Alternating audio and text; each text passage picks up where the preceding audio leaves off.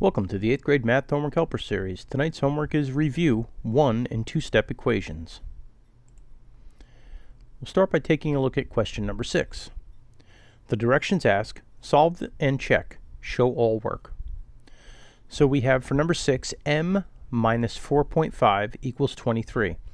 So we're trying to solve for m, and whenever we want to do that, we want to get m on one side of the equal sign and all the other information on the other side of the equal sign. And so in this particular problem, we're going to start by doing the opposite of what's here, which is negative 4.5, and we're going to add 4.5 to both sides. And once we do that, these 4.5s are going to cancel out, and it's going to bring m down. And then on this side, we're going to add 4.5 to 23, and that's going to give us 27.5. So m equals 27.5. Now we need to check that to make sure that it actually works out. The way that you check it is you take the original problem, you substitute for m what you found to be the answer. In this case, it's 27.5 minus 4.5. If you do the subtraction, it does equal 23. 23 equals 23, so our check works. Next, we'll take a look at question number 8. So we have x over 4 plus 7 equals 18. Once again, we want to get x by itself. It's going to take a couple of steps to do that, but the first step I'm going to use is to subtract 7 from both sides, and that's going to eliminate this plus 7 from this side of the equal sign. So the x4 will come down, and if we subtract 7 from 18, we get 11. So that brings us to step two because we still have a 4 that we are dividing by here. And so in order to get rid of that, we need to multiply by 4. And so since it's set up as a fraction, we need to set our 4 up as a fraction. So we have 4 over 1 and x over 4. Now as cross products, you can see the 4's are going to cancel out. The 1 times x is going to leave you with 1x or x and then we do 4 times the other side as well, because whatever we do on one side of the equal sign, we have to do on the other. So we multiplied by 4 over here, which eliminated the 4 and gave us x. We multiply by 4 over here, which is 4 times 11, which gives us 44.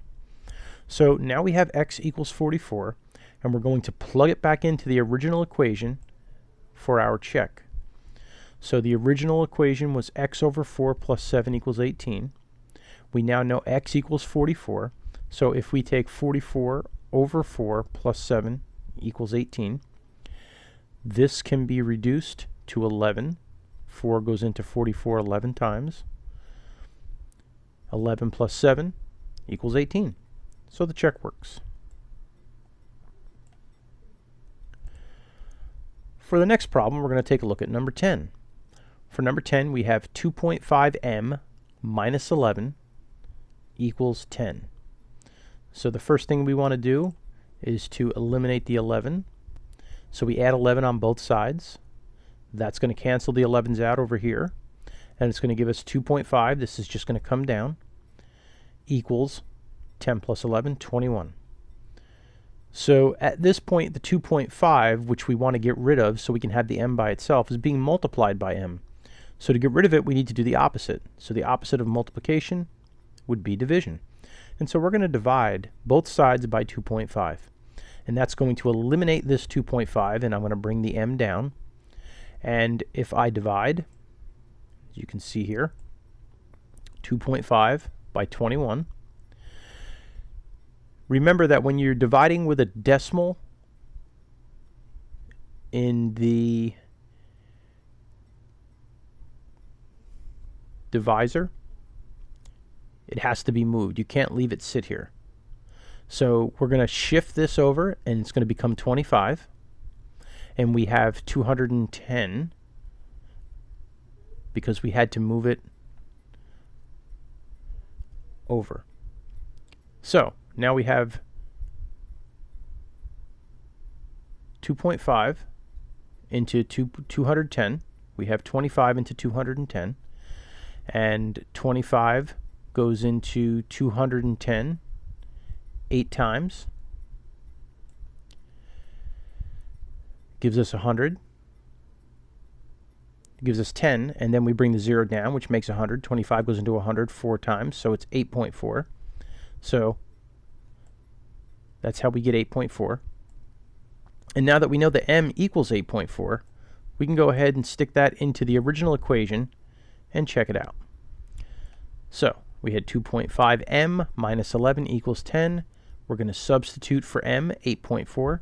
So we have 2.5 parentheses 8.4. That means that we're multiplying them. Minus 11 equals 10. So we'll multiply this first. 2.5 and 8.4 equals 21. Minus 11 equals 10. And 10 equals 10. So the check works. Okay, last problem we're looking at tonight is number 12. We have negative 2m plus negative 12 equals 14. So this double sign should jump out at you. One of the first things we need to do is to fix that. And so basically this is the same as, remember if it's positive and negative, it becomes a negative. So this is negative 2m minus 12 equals 14. And since it's negative 12, we want to get rid of the 12. We're going to add 12 to both sides. And that's going to bring the negative 2m down, the equal sign down, and then we go ahead and follow the, the signs here. 14 and 12 is 26. Now the negative 2 is being multiplied by the m. We're going to need to divide by negative 2 on both sides. And so that's going to isolate the m. And over here it's going to give us negative 13. And we can go ahead and put m into the equation.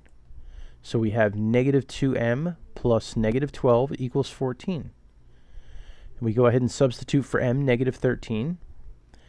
Negative 2 and negative 13, two negatives are going to make a positive, and it's positive 26.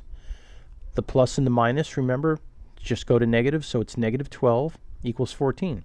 And then we have 26 minus 12 equals 14, and 14 equals 14. So the check works. Please use the problems that were done for you tonight to help you to solve any additional problems that are on your homework. And remember, the key to success in math is not only working hard, but working smart.